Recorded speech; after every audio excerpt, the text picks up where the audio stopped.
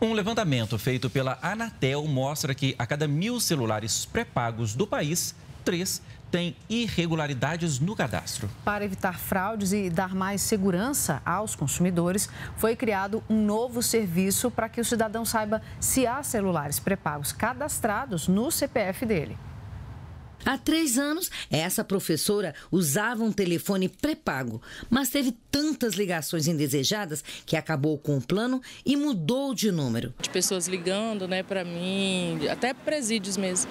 Caso o usuário constate irregularidades envolvendo o seu nome, ele pode pedir o cancelamento imediato da linha. A Anatel criou um endereço eletrônico no qual o consumidor pode verificar de forma rápida a existência de celulares pré-pagos cadastrados em seu CPF. O telefone celular pré-pago habilitado corretamente traz benefício para o consumidor, para a operadora e até para os órgãos de segurança é, quando eles precisam investigar eventualmente algumas fraudes.